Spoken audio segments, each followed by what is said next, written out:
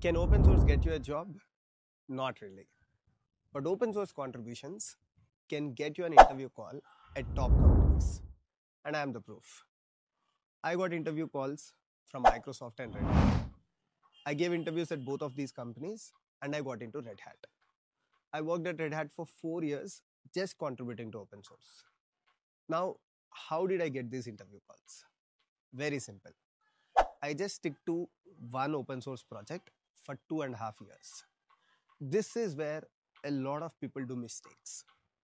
A lot of people look for multiple open source projects and they keep contributing to multiple open source projects. But instead, you have to stick to one project. I stick to one project. I started as a contributor to it, then I became approver. Finally, I became maintainer of that project. And that is where Microsoft and Red Hat reached out to me.